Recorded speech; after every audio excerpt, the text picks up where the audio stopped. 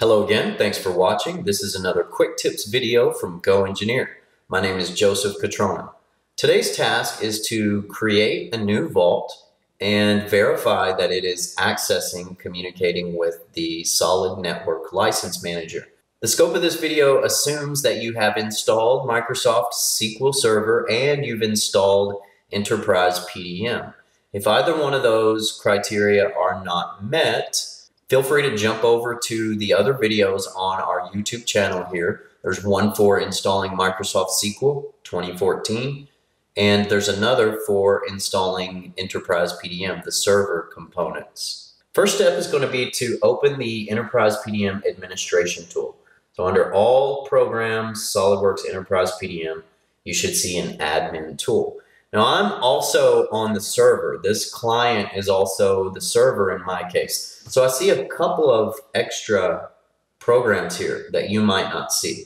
I've got the archive server and the database server because, again, those are running on this machine. In most client scenarios, you would only have administration and view setup. We're going to go ahead and open the administration tool. Should look something like that with a computer name specified there. If the computer name is not listed, then the first step is to add server. Go ahead and point to the archive server. Now, if you're in a multiple location environment where there are replicated archive servers, this would be the local server. If I have locations in Houston and in Dubai, and I'm installing in Houston, I would point to the Houston archive. The database may be at either one of those locations or at a separate location. I just want to point to my local archive server. Once you've completed that, the server will show here as a little desktop icon with a screen, and you can right click on that to accomplish a few tasks, one of which is create new vault. So this is another pretty self-explanatory wizard. We'll go ahead and choose next on the welcome screen, give the vault a name and a description. Choosing next lets me verify that the archives are gonna go, for this vault, the archives are gonna go to J Cutrona Lab into the archives folder. So essentially this is telling you that it's going to put the archives in the place you specified during install for this vault. I'll go ahead and choose next. The new Vault Wizard also wants to know where the SQL database is hosted. So you can go ahead and type that computer name here, whether that's at the same location or across the world. We're going to point to that database server by name. Choose next. Choose a date and language format. Choose next. We specified a default admin password during the install. This screen is saying, is it okay to use that same password? I'll say yes and accept. There's a few different initial vault configurations you can start with.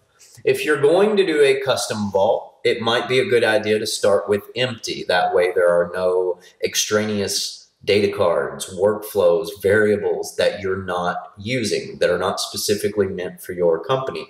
The default would bring in a host of default data cards and default system settings, a bills of materials, a workflow, etc. And then the SolidWorks Quick Start is just a subset of the default items. So we'll go ahead and choose the default. The next screen shows me exactly what is included in that default. We've got three bills of materials, a handful of cards, a couple of search cards, and the optional tasks are available for addition. I'll choose next and finish. Finally, we'll get a confirmation screen and can see that this task has completed. From there, we can close the new Vault Creation Wizard. A new icon has shown up, little database icon there under that vault, showing that that vault is hosted on that server. If I expand that out, I need to accept the license agreement for client usage. and say OK there. And then this will be the option to log in to the admin tool. Now this is not logging in as a user to put files in and work with folders and files. This is logging in on the admin tool, the settings. So I'll go ahead and specify my admin password there, expand that to see a list of settings. There's the three bills of materials. There's the handful of data cards that came in with the default vault. So now that we have a vault created on the server, And again, this task of creating a vault can be done from any client. This administration tool, start all programs, enterprise PDM, administration, that tool will be available on any machine where there is a client installed.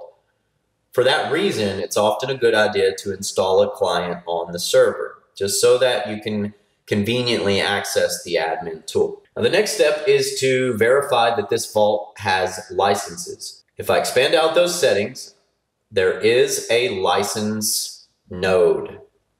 Right click, open, and if you've used EPDM in the past, you'll notice this dialog is different for 2015. Rather than browsing for a text file, in 2015, I need to point to a solid network license server installation. We've got that installed on Joe's laptop here, but the dialog is clear. Enter the license server name in the form port number at computer name. If I press OK there, there's a check that's run in the background. If it doesn't just pop up like that, uh, you can be assured that there's a communication problem. Likewise, if it does just, if that dialog just disappears and you see the new server listed there, you can verify that communication was successful.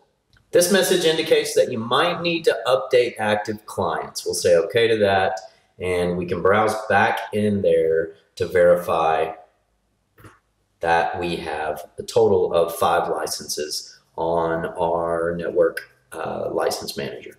So that's it for creating a vault and activating it by connecting to the SNL or pointing it to the SNL. That's a little bit of a new process for 2015. So hope this video was helpful. Please feel free to leave us a comment if you have any questions or suggestions or would like to see a specific video in the future. Thanks for watching.